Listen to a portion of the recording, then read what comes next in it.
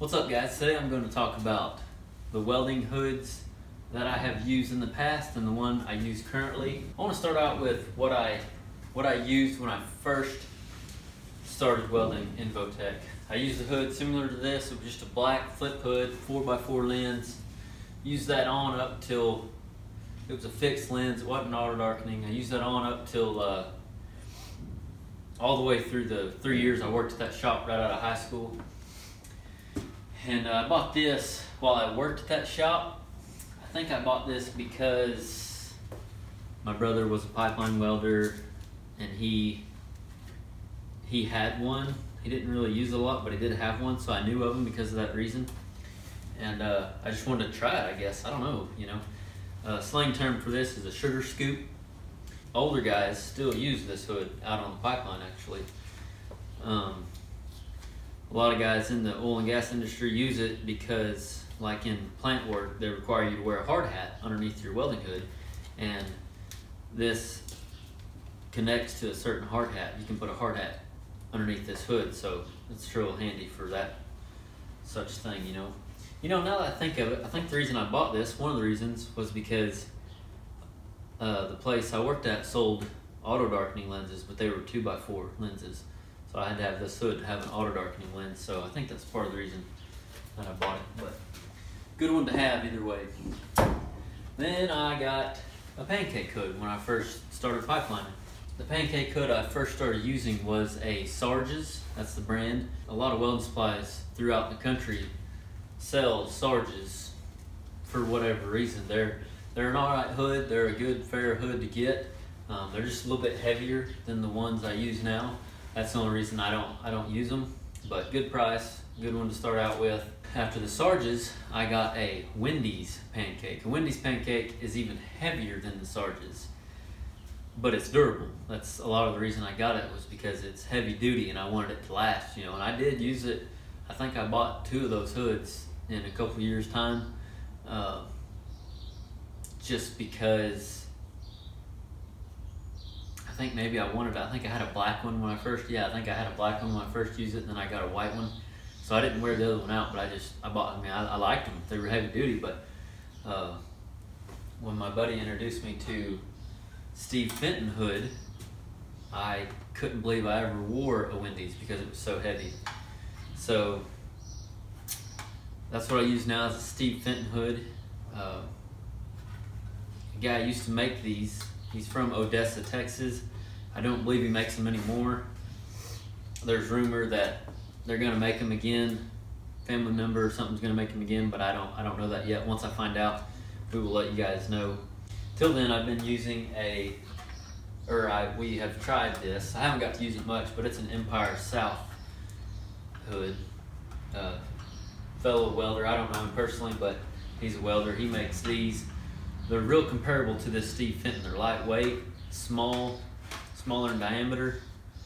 Uh, I mean, real similar to this as far as the weight and whatnot. So I'm currently trying that one. I'll do a further review of that one, a more in-depth review of that Empyre South once I use it more and uh, just whenever I can talk about it by itself and uh, in another video. So be looking forward to that. But like I said, I use this uh, Steve Fenton. I've had it, I've used it for like three years, I think. And uh, still going strong. Main reason though, like I said, I like it because it's lightweight.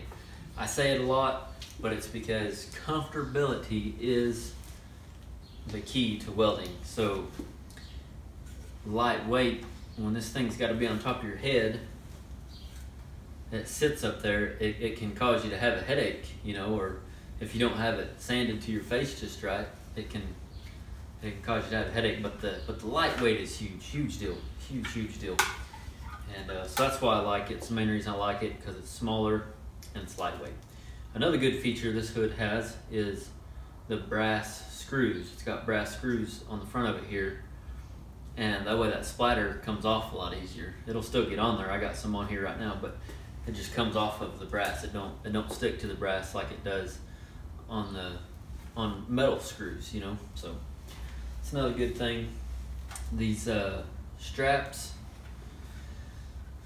this is not the strap. The strap that comes with these hoods a little bit narrower, like a one inch or inch and a quarter strap. I've always liked these two inch straps. I don't know, for whatever reason, it just stays on my head better. And uh, I've got several. I've got blue, orange, this pink one. Uh, I've got different kinds. It's always good to have a spare, so I try to have an extra one laying around. Um, PL Welder is where I got the strap.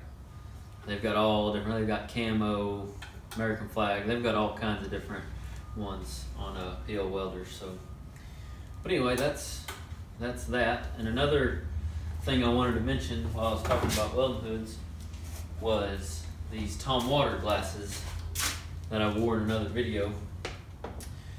These glasses are good for people that need glasses. I don't need glasses.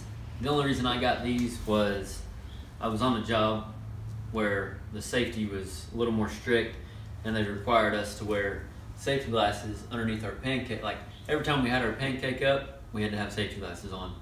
And your pancake comes up and down quite a bit when you're making a weld. So I purchased these uh, for that reason. That's the only reason I bought them. I do not need them.